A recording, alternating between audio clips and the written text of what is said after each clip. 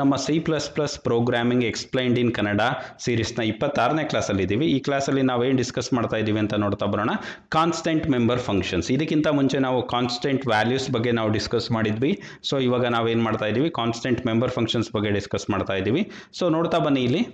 A function become a constant when constant keyword is used in function declaration ಯಾವಾಗ ಒಂದು ಫಂಕ್ಷನ್ನ ನಾವು constant function ಮಾಡ್ಬೋದಪ್ಪ ಅಂತ ಅಂದರೆ ಕಾನ್ಸ್ಟೆಂಟ್ ಕೀವರ್ಡ್ನ ಯೂಸ್ ಮಾಡಿದ್ರೆ ನಾವೇನು ಮಾಡ್ಬೋದು? ಕಾನ್ಸ್ಟೆಂಟ್ ಫಂಕ್ಷನ್ ಮಾಡ್ಬೋದು. ಸೊ ಇದಾದಮೇಲೆ the idea of constant function is not allow them to modify the object on which they are called ಅಂದರೆ ಈ ನಾವು ಕಾನ್ಸ್ಟೆಂಟ್ ಫಂಕ್ಷನ್ನ ಏನಕ್ಕೆ ಯೂಸ್ ಮಾಡಬೇಕು? ಇದರ ಹಿಂದೆ ಇರುವಂಥ ಉದ್ದೇಶ ಏನಪ್ಪ ಅಂದರೆ, ನಾವು ಯಾವ ಆಬ್ಜೆಕ್ಟ್ ಮುಖಾಂತರ ಕಾನ್ಸ್ಟೆಂಟ್ ಮೆಂಬರ್ ಫಂಕ್ಷನ್ನ ಕಾಲ್ ಮಾಡಿರ್ತೀವಿ, ಆ ಆಬ್ಜೆಕ್ಟ್ ಯಾವುದೇ ಕಾರಣಕ್ಕೂ ಸಾರಿ ಆ ಫಂಕ್ಷನ್ ಯಾವುದೇ ಕಾರಣಕ್ಕೂ ಆಬ್ಜೆಕ್ಟನ್ನು ಆಲ್ಟರ್ ಮಾಡೋದಕ್ಕೆ ಆಗಲ್ಲ ಮಾಡಿಫೈ ಮಾಡೋದಕ್ಕೆ ಆಗಲ್ಲ ಓಕೆ ಸೊ ಏನು ಪ್ರೀ ಡಿಫೈನ್ಡ್ ಲಾಜಿಕ್ ಇರುತ್ತೋ ಅಷ್ಟು ಮಾತ್ರ ಏನು ಮಾಡ್ಬೋದು ಪರ್ಫಾರ್ಮ್ ಮಾಡ್ಬೋದು ಅಂತ ಹೇಳ್ತಾ ಇದ್ದಾರೆ.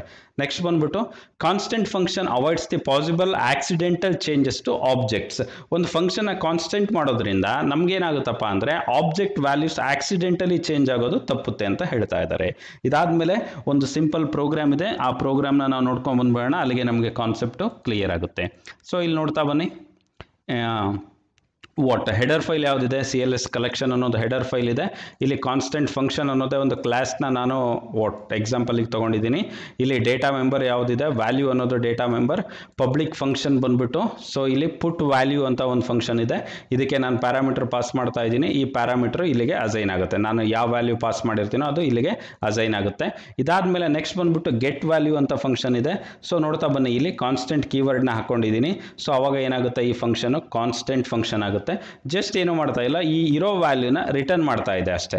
ಈ ವ್ಯಾಲ್ಯೂನ ಯಾವುದೇ ರೀತಿ alter ಮಾಡೋದಕ್ಕಾಗಲ್ಲ because this is constant function so ಇಲ್ಲಿ ನೆಕ್ಸ್ಟ್ ಮೈನ್ ಫಂಕ್ಷನಿಗೆ ಬಂದಾಗ, ಇಲ್ಲಿ ನಾವೇನು ಮಾಡ್ತಾ ಇದ್ದೀವಿ ಅಂತ ಅಂದರೆ, ಒಂದು ವೇರಿಯಬಲ್ ಅಥವಾ ಆಬ್ಜೆಕ್ಟ್ ಓಕೆ ಸೊ ಇಲ್ಲಿ ಆಬ್ಜೆಕ್ಟ್ಸ್ನ ನಾವೇನಂತ ಕರಿತೀವಿ? ಕ್ಲಾಸ್ದು ವೇರಿಯೇಬಲ್ಸ್ ಅಂತ ಕರಿತೀವಿ. ಅದೇ ರೀತಿ ಇಲ್ಲಿ ಟಿ ಅನ್ನೋದು ಒಂದು ಆಬ್ಜೆಕ್ಟ್ನ ಕ್ರಿಯೇಟ್ ಮಾಡಿಕೊಂಡು ಟಿ ಡಾಟ್ ಪುಟ್ ವ್ಯಾಲ್ಯೂ ಅವಾಗ ಇಲ್ಲಿ ವ್ಯಾಲ್ಯೂಗೆ ನಾನು ಏನು ಮಾಡ್ತಾ ಇದ್ದೀನಿ? ಟೆನ್ ಅನ್ನೋ ವ್ಯಾಲ್ಯೂನ ಪಾಸ್ ಮಾಡ್ತಾ ಇದ್ದೀನಿ.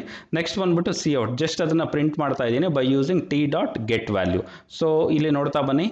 ಒಂದು ಬ್ರೇಕ್ ಪಾಯಿಂಟ್ ಇಟ್ಟಿರ್ತೀನಿ ನಾನು. ಇಲ್ಲಿ ಪುಟ್ ವ್ಯಾಲ್ಯೂಗೊಂದು ಮತ್ತು ಗೆಟ್ ವ್ಯಾಲ್ಯೂಗೊಂದು ಸೊ ಇವಾಗ ನಾನು ಡಿಬಗ್ ಮಾಡ್ತಾ ಇದ್ದೀನಿ. ಇಲ್ಲಿ ಬ್ರೇಕ್ ಪಾಯಿಂಟ್ ಟ್ರಿಗರ್ ಆಗಿದೆ. ಇಲ್ಲಿ ಏನು ಪಾಸ್ ಮಾಡಿದ್ದೀನಿ ನಾನು ಅಂತಂದರೆ ಟೆನ್ ಇಲ್ಲಿ ನೋಡ್ತಾ ಬರ್ಬೋದು. ಇಲ್ಲಿ ಪುಟ್ ವ್ಯಾಲ್ಯೂನಲ್ಲಿ ನಾನು ಏನು ಪಾಸ್ ಮಾಡಿದ್ದೆ? ಟೆನ್ ಇಲ್ಲಿ ನೋಡಿ ಅದೇ ಟೆನ್ ಪಾಸ್ ಆಗಿದೆ. ಸೊ ಇವಾಗ ಏನು ಮಾಡ್ತಾ ಇದ್ದೀನಿ ನಾನು?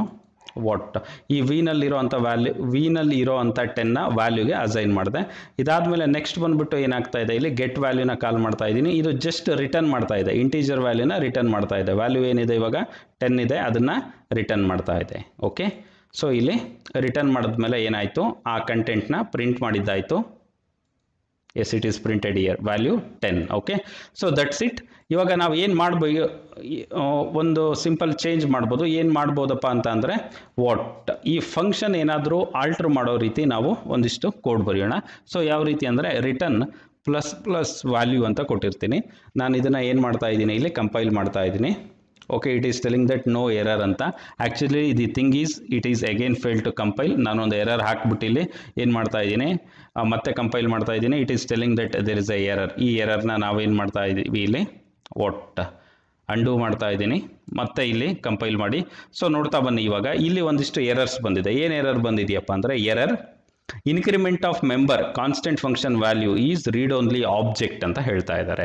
ಅಂದರೆ ನಾವು ಇಲ್ಲಿ ಇನ್ಕ್ರಿಮೆಂಟ್ ಮಾಡಲಿಕ್ಕೆ ಬರ್ತಾ ಇಲ್ಲ. Because this is what constant function ಯಾವುದೇ ರೀತಿ ಈ ಆಬ್ಜೆಕ್ಟ್ ಇದೆಯಲ್ಲ ಟಿ ಅನ್ನೋ ಆಬ್ಜೆಕ್ಟು ಅದ್ರ ಒಳಗಡೆ ಇವಾಗ ವ್ಯಾಲ್ಯೂ ಅನ್ನೋದಕ್ಕೆ ನಾವು ಟೆನ್ ಅಸೈನ್ ಮಾಡಿದ್ದೀವಲ್ಲ ಆ ವ್ಯಾಲ್ಯೂ ವೇರಿಯೇಬಲ್ನ ನಾವಿಲ್ಲಿ ಇನ್ಕ್ರಿಮೆಂಟ್ ಮಾಡೋದಕ್ಕೆ ಆಗಲ್ಲ. Because this is a constant function ಇದೇ ಉದ್ದೇಶಕ್ಕೆ ನಾವು ಫಂಕ್ಷನ್ನ ಏನು ಮಾಡ್ಕೊಂಡಿದ್ದೀವಿ ಕಾನ್ಸ್ಟೆಂಟ್ ಫಂಕ್ಷನ್ಸ್ ಆಗಿ ಕನ್ವರ್ಟ್ ಮಾಡ್ತಾ ಹೋಗ್ತೀವಿ.